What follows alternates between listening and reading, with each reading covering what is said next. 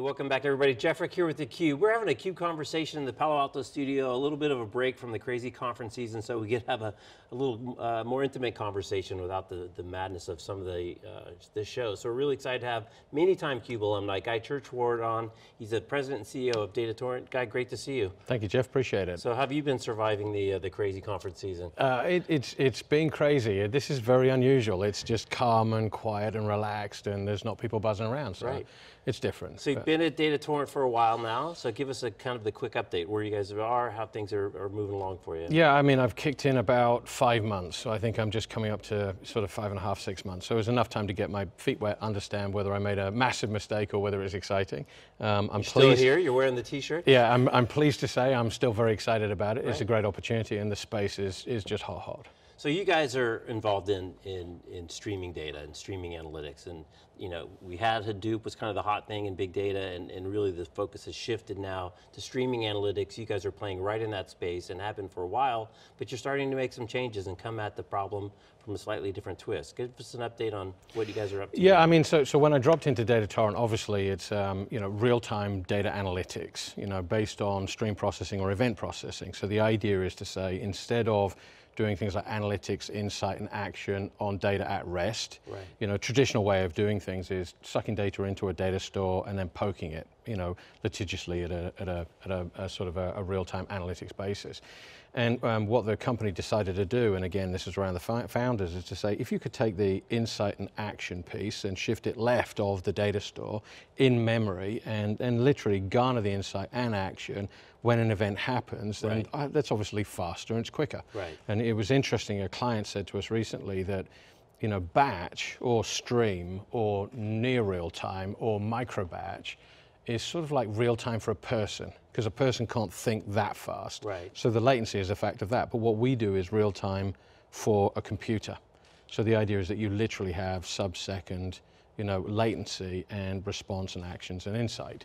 Um, but anyway, they built a toolkit and they built a, a, development platform and it's completely extensible and we've got a dozen customers on board and they're high production and people are running in you know, a billion events per second. So it's, it's very cool.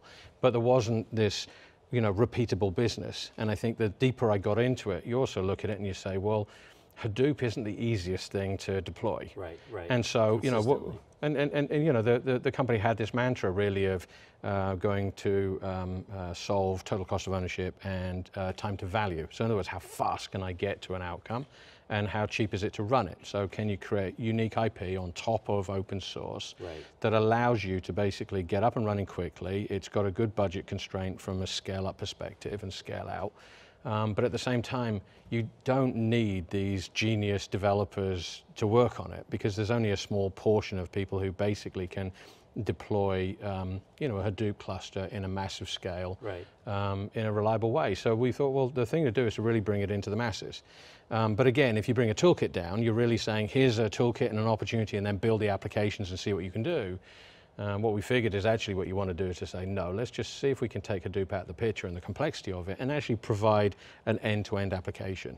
So we looked at each of the customer's current deployments and then figured out, you know, can we actually industrialize that pipeline? In other right. words, take the open source components, ruggedize them, scale them, make sure that they, they, they stay up, they're fault tolerant, 7 by 24 and then provide them as an application. So we're actually shifting our focus, I think, from just the, you know, what I call the Apex platform and this stream-based processing platform to an application factory and actually producing, you know, end-to-end -end applications. It's so interesting to think of, you know, batch and batch and not real time compared to real time streaming, right? We used to take action on a sample of old data. Yeah. And now you've got the opportunity to actually take action on all of the now data pretty significant difference. Yeah, I mean, it, it, kills me. I mean, I've got to say, since the last time we met, I literally wrote a, I wrote a blog series, and one of them was called uh, Analytics, Real-Time Analytics versus Real-Time Analytics. And, and I had this hilarious situation where I was talking to a client, and, I asked, and, and I said, do you do real-time analytics? They go, yeah. And I said, do you work on real-time data? And they said, yeah. And I said, what's your latency between an event happening and you being able to take an action on the event? And he said, well, 60 milliseconds. That's amazing.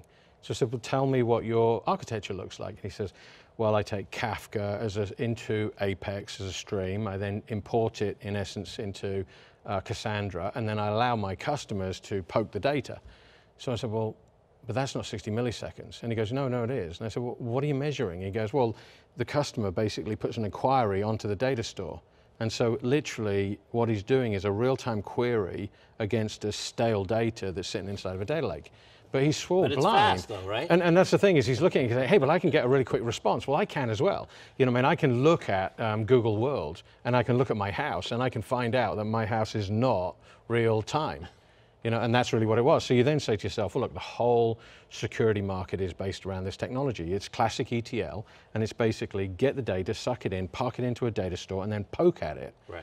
You know, but that means that that latency, by just the sheer fact that you're taking the data in and you're normalizing it and dropping it into a data store, your latency is already out there. And so one of the applications that we looked at is around fraud, you know, and uh, specifically payment fraud and credit card fraud. And, and everything out there in the market today is basically, it's detection. Because of the latency, if you kind of think about it, credit card swipe, the transactions happened, they right. catch the first one, they look at it and say, well, that's a bit weird. If another one of these ones comes up, then we know we've got fraud.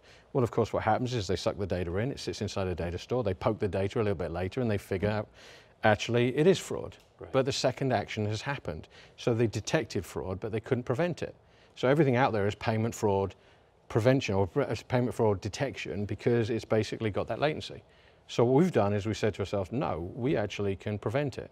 Because if you can move the insight and actions to the left-hand side of the data store, and as the event is happening, you literally can grab that card swipe and say, no, no, no, you don't do it anymore, you prevent it. So it's literally taking that whole market from, in essence, detection to prevention. And, and this is a, um, it, it's kind of fascinating because there's other angles to this.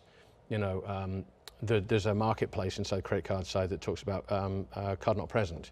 And there's a thing called omni-channel. And omni-channel is interesting because most retailers have gone out there and they've got their bricks and mortar infrastructure and architecture and data centers, and they've gone and acquired an online company. Right. And so now they have these two different architectures. And if you imagine if you've got a hop between the two, it kind of has gaps. And so the fraudsters will exploit omni-channel because there's multiple different hmm. architectures around, right? So if you think about it, there's one side of saying, hey, if we can prevent that, so taking in a huge amount of data, having it talk, having a life cycle around it, and literally being able to detect and then prevent fraud before the fraudsters can actually figure out what to do, that's fantastic. And then on the plus side, you could take that same pipeline and that same application, and you can actually provide it to the retailers and say, well, you know, what you'd want to do is things like, um, uh, I wrote, again, I wrote another blog on it, uh, loyalty brand. You know, on the retail side is, I mean, for instance, um, my wife, uh, we shop like crazy, everybody does. I try not to. Um, but let's say, I'm, let's say she's been on a Nordstrom site and we've, and we've got a Nordstrom. So Nordstrom has a cookie on a system and they can figure out what we've been done. And she's, she's surfing around and, you know, she finds a dress she kind of likes, but she doesn't buy it because she doesn't want to spend the money. Now I'm in Nordstrom's about four weeks later, and I've literally, you know, buying a pair of socks, a card swipe, and what it does is because you've got this omni-channel and you can connect the two, what they want to do is to be able to turn around and say, "Oh, guy, before we run this credit card, we noticed that your wife was looking at this dress. We know her birthday's coming up." Right? And by the way, we've checked our store and we've got the color and the size she wants in. And if you want, we'll put it on the credit card. Don't So they can do She'll- that'll cross. creep her out too much. She won't want you to get that dress. Well, actually, No, it's, it's a great. It's a it's a really interesting example, right? But but it, but it is that, and if you kind of think about it, Right, it it's right. and this is where you know when they say every second counts, it's like every millisecond counts, right. and so it really is machine to machine, real time, and that's what we're providing. Well, that's the interesting. So you know, a couple things just jump into mind as you're, as you're as you're talking. One is by going the application route, right? You're reducing the overhead for just pure talent that we keep hearing about. There's such a shortage in some of these big data applications, Hadoop specifically. So now you're delivering a bunch of that that's already packaged to a degree in an application. Is that accurate? Yeah, I mean, I mean, I kind of look at the engineering talent inside organizations like a triangle, you know, and at the very top you have uh, talented engineers that basically can hard code. And that's really where our technology has sat traditionally. So we go to a large organization, they have 100 people dedicated to this um, sport. Um, the challenge is then it means that small organizations don't have it can't take advantage. And then you've got at the, at the base end, you have technologies like Tableau, you know, as a GUI that you can use by an IT guy. And in the middle, you've got this massive swath of engineering talent that literally isn't the you know Yoda hard code on the analytic stuff and really can't do the Hadoop cluster, Right. but they want to basically get dangerous on this technology. And if you can take your you know the the top talent and you bring that into that center and then provide it at a cost economics that makes sense, then you're away. And that and that's really what we've seen is so our client base is going to go from the Fortune 10, Fortune 20, Fortune 50s into the Fortune thousands, and you bring it down. And that's really, if you think about it, that's where Splunk kind of got their roots, right? Right, Which is really get an application, allow people to use it, execute against it, and then build that base up. That's ironic that you bring, bring up Splunk because George Gilbert, one of our Wikibon analysts, loves to say that Splunk is the best implementation of Hadoop that was ever created. he thinks of it really as a Hadoop uh, application as opposed to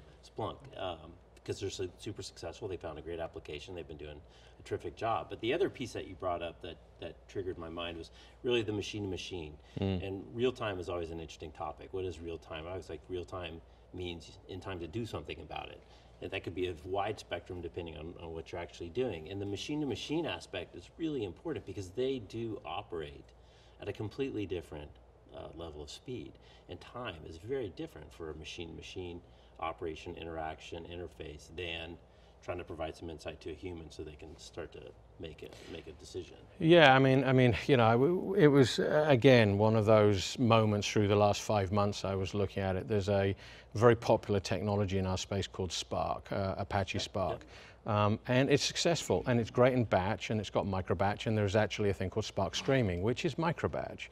But in essence, it's about a, a, a second latency. And so you look at it and you go, but what's in a second? You, you know what I mean? I mean, surely that's good enough. Right. And absolutely, it's good enough for some stuff. Right. But if you were, I mean, we, we, we joke about it with things like autonomous cars. Right. If you have a cruise control, it's an adaptive cruise control, you don't want them run on batch because that second is the difference between you slamming into a truck and not.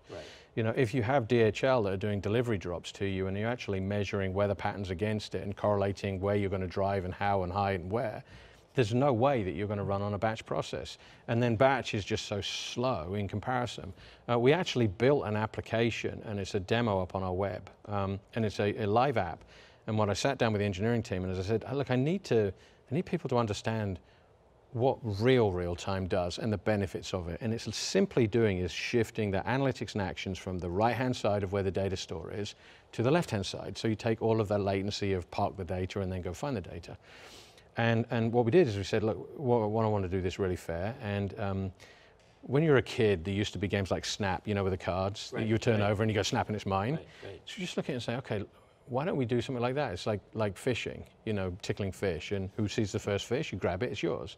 So we created an application that basically creates random numbers at a very, very huge speed, and whichever process, we have three processes running, whichever one sees it the first time, puts their hands up and says, I got that.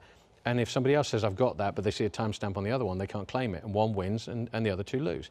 And I did it, and we optimized around um, basically the Apache Apex code, which is ours, uh, in stream mode, the Apache Apex, believe it or not, in a microbatch mode, and Spark streaming um, as fast as it can. And we literally engineered the hell out of them to get them as fast as possible. And if you look at the results, it literally is win every time for stream and a loss every time for the other two. So from a speed perspective, now the reality is, like I said, is if I'm showing a dashboard to you, Right, right. by the time you blinked, all three have got you the data. Right. So it's immaterial. You know, and, and this isn't knocking on Spark. Um, our largest deployments all run on what we call like a, a cask type um, architecture, which is basically, you know, um, Kafka, Apache, um, Spark. You know, so, so we see this in Hadoop Right. is always in there. So it's kind of this cache thing. Um, so we like it for what it is, but wh- where customers come unbundled is where they try and force fit a technology into the wrong space. Right, right. And so again, you mentioned Splunk. You know, th- these sort of waves of innovation. You know, we find every client sitting there going, "I want to get insight quicker." You know, the amount of meetings that we're all in, where you sit there and go, "If I'd only known that now." Right, right. or before, then I would have made a decision. And you know, in the good old days, we worked at At-Rest Data. At-Rest was really the kingdom of Splunk. You know, and then if you think about it, we're now in the e- tail end of Batch, which is really where Spark's done. So Splunk and Spark are kind of there, and now you're into this real time. So, so again, it's it's running at the fair pace, but but the I think the learnings that we've had over the last few months is um, toolkits are great and platforms are great, but to bring this out into a mass adoption, you really need to make sure that you provided hardened applications. So we see ourselves now as, you know, real-time big data applications company, not, you know, just uh, Right. Apache. And when you look at the application space that you're going to attack, do you look at it kind of vertically? Do you look at it functionally? Kind of, you mentioned fraud is, is one of the earlier ones. How are you kind of organizing yourself around the application space? Yeah, I, and so I, I kind of, the best way for me to describe it, and I, I want to spin it in a better way than this, but I'll tell you exactly as we've done it, which is I've looked at what the customers have currently got, and we have deployments in about um, a dozen big customers, and they're all different use cases. And then I've looked at it and said, what you really want to do is you want to you want to go to a market that people have a current problem, Right. And also in a vertical where they're prepared to pay for something and solving a problem that if they give you money, they either make money quickly or they save money quickly. Right. So, so it's actually, uh, uh, and it- but, but it would be much better if I said in a pure way and I made some magical Right, thing up. right, But in reality, as I'm looking and going, you, you got to go where the hottest problems are. And right now, if you think of things like card not present, you look at roaming abuse, you know, um, and you look at omni-channel from payment fraud, everybody is looking for something. Now the challenge is the no, the market's noisy there, Right. and so what happens is everybody's saying, "But I've got it." Well, And- that's what strikes me about the fraud thing is you would think that that's a pretty sophisticated marketplace in which to compete. So you clearly have to have an advantage Yeah. to even get a meeting, I would imagine. Yeah, and it's uh, and and again we've we've tested the market. The market's pretty hot on the back of it. We've got an application coming out shortly, and we're actually doing design partnerships with a couple of big banks. So um so but we don't want to be seen as just a fraud. Now we'll we'll just a fraud, just a fraud prevention company. I'll stay with the fraud myself. Um, but you kind of look and you say, look, there'll be a, a set of fraud applications because there's about half a dozen that all need to be done. Retail, uh, like I mentioned on things like the loyalty brand stuff. Uh, we have a number of companies that are using us for ad tech. Uh, so again, I can't mention the names. Um, we actually we've just published one, Publix, uh, um, no, Pubmatics uh, is one of the ad tech organizations that's using our products. Um, but we'll we'll literally come out and harden that pipeline as well. So we're just lit- we're, we're, going to slot along. But instead of just saying, "Hey, we've solved absolutely everything," Right, what I want to do is to solve a problem for someone, Right. And then just move forward. Right. You know, most of our customers have somewhere between three to five different applications that are running up in Hadoop in production. Um, so once the platform's in, you know, then they see the value of it. But we really want to make sure that we're, we're, we're closer to the end result and to an outcome because that's the de jure way that customers want to buy things now. Right. Well, and they always have, right? Like you said, they got a burning issue to either got to make money or save money. Yeah. And if it's not a burning issue, it falls to the bottom of the pile because there's something that's burning that, that, that they need to fix And and, and, quickly. and, and, the, and the other thing, Jeff, is if you, you know, and again, it's, it's dirty laundry, but if you think about it, I go to an account and the account's got a fraud solution and it's all right, but it's not doing what they want. But we come along with the platform say, hey, we can do absolutely anything. And then they go, well, I've got this really difficult problem that no one solved for me, but I'm not even sure if I've got a budget for it. Right. Let's spend two years messing around with it. And, and that's no good. You know, from a small company, I, you really want that tractionable event.